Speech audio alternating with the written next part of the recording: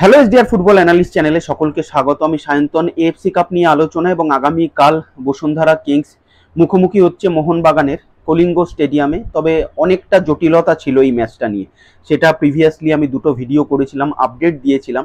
তো finally Bashundhara Kings কিন্তু ভারতের মাটিতে পা রেখেছে এবং বারোটা পঁয়ত্রিশের ফ্লাইটে কিন্তু তারা কলকাতা হয়ে আবার ভুবনেশ্বর উড়ে গেছে।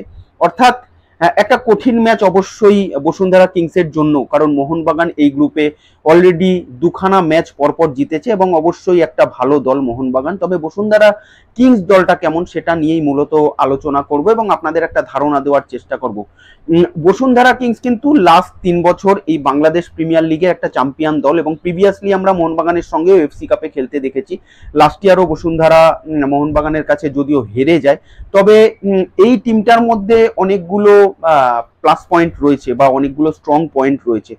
যেমন এই দলটার মধ্যে তিনজন আফ্রন্টে যে ত্রয়ীর কথা আমি বলব, সেটা হচ্ছে ডোরিয়েলটন, রবিনো এবং মিগুয়েল। এই তিনজন ব্রাজিলিয়ান আফ্রন্টে কিন্তু এই টিমটার যদি মূল স্ট্রেংথ বা শক্তি ধরা হয়, তাহলে এই ত্রয়ী আফ্রন্টে কেন বলছি? তার কিছু কারণ রয়েছে। অবশ্যই কারণটা এটাই যে আমরা যদি দেখি, বসুন্ধরা কিংসটাকে নিয়ে যদি, টিমটাকে নিয়ে যদি আমরা তাদের স্ট্যাটিস্টিক বা পারফরমেন্স যদি দেখি, Bashundhara kings last year Bangladesh premier league champion হয়েছে, পঞ্চান্ন পয়েন্ট নিয়ে, যার মধ্যে একান্নটা গোল করেছে, তেরোটা গোল কনসিড করেছিল। এবং এই একান্নটা গোলের মধ্যে চল্লিশটা গোল যদি আমরা দেখি, তাহলে হচ্ছে এই ডোরিয়েলটান, রবিনহো এবং মিগুয়েলের চল্লিশটা গোল।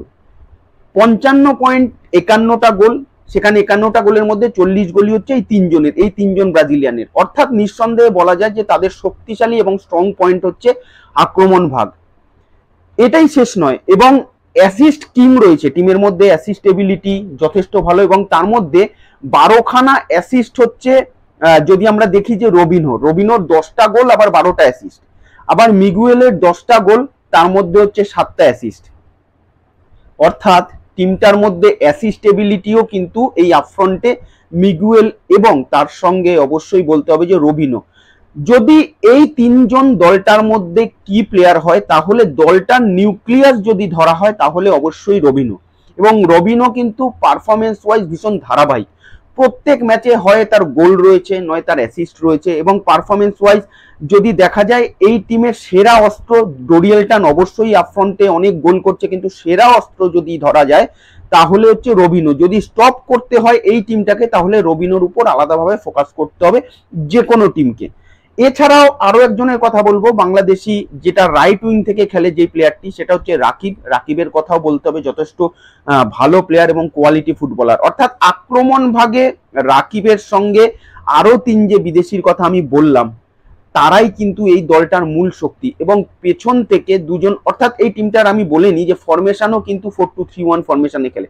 ছয় বিদেশি রয়েছে, ছয় বিদেশি মোহনবাগানের বিরুদ্ধে মাঠে নামবে, এটা নো ডাউট কোনো সন্দেহ নেই। এবং মাঝমাঠে অবশ্যই যে দুজনের কথা বলব যে ব্রসৌ, এছাড়াও রয়েছে গাফুরফ এই দুজন প্লেয়ার কিন্তু টিমটাকে অনেকটা পরিচালনা করে পেছন থেকে বিহাইন্ড দ্য স্ট্রাইকার লাইন এ পেছন থেকে এই দুজন অল্টারনেটিভ ওয়েতে কিন্তু একজন স্টে একজন ডি টু ডি অপারেট এটা কিন্তু দুজনে অল্টারনেটিভ ওয়েতে করে, গাফুরব এবং ব্রসৌ।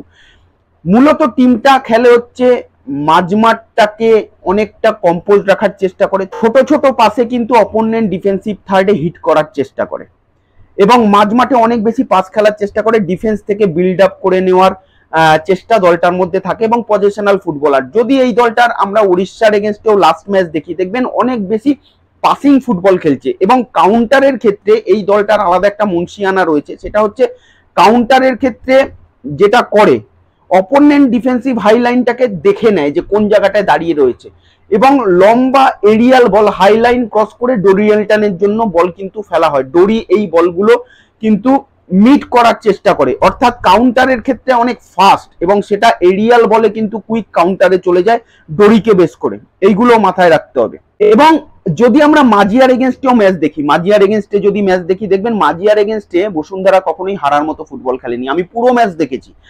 মাজিয়া সেদিন জিতেছে সম্পূর্ণ কাউন্টার বেস ফুটবল খেলে এবং মাজিয়ার অপ্রতিরোধ ছিল সেই দিন গোলের নিচে মাজিয়ার গোলকিপার ফলে বসুন্ধরা হারার কিন্তু সেটা একটা কারণ, কিন্তু বসুন্ধরা কখনোই কিন্তু হারার মতো ফুটবল খেলেনি। অনেক ওপেন চান্স ক্রিয়েট করেছে, সেখানে মাজিয়ার গোলকিপার চীনের প্রাচীর হয়ে রুখে দাঁড়িয়েছে। দলটার অনেক কিছু স্পেশালিটি রয়েছে, ভালো রয়েছে, কিন্তু দলটার দুর্বলতাও রয়েছে। এটাও ভাবতে হবে। দলটার দুর্বলতম জায়গা হচ্ছে ডিফেন্স কারণ এই মুহূর্তে তারা কিন্তু দুটো ম্যাচের মধ্যে এফসি কাপে একটা হেরেছে মাজিয়ার সঙ্গে থ্রি টু ওয়ানে এবং থ্রি টুতে উড়িষ্যার সঙ্গে জিতেছে। অর্থাৎ এই টিমটা দুটো ম্যাচে পাঁচটা গোল কনসিড করেছে। যেটা কখনোই ভালো সাইন নয়, কারণ টিমের আপফ্রন্ট যতই শক্তিশালী হোক যে কোনো কঠিন ম্যাচে হয়তো আপফ্রন্ট কোথাও গিয়ে স্টপ হয়ে যাচ্ছে বা সেরকম তিন গোল, চার গোলে ম্যাচ জিততে পারছে না।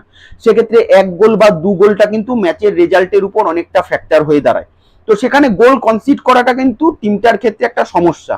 এই গোল কনসিড করার জায়গাটা কিন্তু ডিফেন্ডারদের মধ্যে একটা মিস কমিউনিকেশন এবং ডিফেন্সিভ ল্যাপস রয়েছে, যেটা আমার চোখেও পড়েছে। এবং তারিক কাজী ও উজবেকিস্তানের সেন্টার ব্যাক ববুর বেকের সঙ্গে মূলত টিমটা সাজায় বসুন্ধরার কোচ অস্কার ব্রুজন কিন্তু এই দুজনের মধ্যে কিন্তু একটা মিস কমিউনিকেশন চোখে পড়েছে এবং থ্রু বলগুলো খুব ভালো যে মিট করছে সেরকম নয়। এই জায়গাটা আমার মনে হয় একটা দুর্বল জায়গা। তো সেইখানে যদি রেকটিফাই না করে, তাহলে কিন্তু টিমটার জন্য সমস্যা। কারণ আক্রমণ ভাগ আবারও আমি বলছি যে, অত্যন্ত শক্তিশালী একটা আক্রমণ ভাগ, যারা এই আক্রমণ ভাগে অসম্ভব ভ্যারিয়েশন ক্রিয়েশন দুটোই রয়েছে। উইং থেকে দুর্দান্ত ক্রসও আসতে পারে এবং রবিন হোকে স্টপ করতে হবে, আমি আবারও বলছি। এই টিমটার নিউক্লিয়াস হচ্ছে রবিনো লেফট চ্যানেল অনেক বেশি সচল এই টিমটার। রবিনোকে বেস করে আক্রমণ এবং রবিনোর inverted run it's very danger ইনসাইডে চলে এসে থ্রু পাসগুলো খুব ডেঞ্জার অর্থাৎ রবিনোকে লেফট চ্যানেল থেকে অপারেট করাটা বন্ধ করতে হবে। এই টিমটার যেটা স্ট্রেংথ যেটা আমি বললাম, সেটা হচ্ছে রবিনোকে বেস করে টিমটার কিন্তু অনেকটা শক্তি মানে পারফরমেন্স টিমটার আক্রমণ সব কিছুই কিন্তু নির্ভর করে রবিনোকে বেস করে এবং পেছন থেকে অবশ্যই মিগুয়েলের ক্রিয়েটিভনেস মিগুয়েল যে ক্রিয়েটিভনেসটা দেখায় এবং রবিনের তো একটা ইন্ডিভিজুয়াল ব্রিলিয়ান্সি রয়েছে, তো সেই জায়গাগুলোকে স্টপ করতে হবে। একটা কঠিন ম্যাচ যদিও বসুন্ধরার জন্য অপেক্ষা করছে, ঠিক তেমনই মোহনবাগানের জন্য কিন্তু অপেক্ষা করছে। এবং মোহনবাগান বসুন্ধরার টিম নিয়ে নিয়ে একটা প্রি ম্যাচ অ্যানালাইসিস থাকবে, অবশ্যই। কারণ এই আলোচনাটা কিন্তু সম্পূর্ণ বসুন্ধরার স্ট্রেংথ এবং উইকনেস নিয়েই করলাম। যদি ভিডিওটি ভালো লেগে থাকে, তাহলে অবশ্যই চ্যানেলটি যারা এখনও সাবস্ক্রাইব করেননি, অবশ্যই সাবস্ক্রাইব করবেন এবং বাংলাদেশ থেকে প্রচুর ভিউয়ার্স রয়েছে আমার। তাদেরকে অসংখ্য ধন্যবাদ আমাকে এইভাবে সাপোর্ট করার জন্য। এবং আপনাদেরও যদি ভিডিওটি ভালো লেগে থাকে, তাহলে অবশ্যই চ্যানেলটি যারা সাবস্ক্রাইব করেননি, অবশ্যই চ্যানেলটি সাবস্ক্রাইব করবেন। এবং লাইক কমেন্ট শেয়ার অবশ্যই আপনারা করতে পারেন। Thank you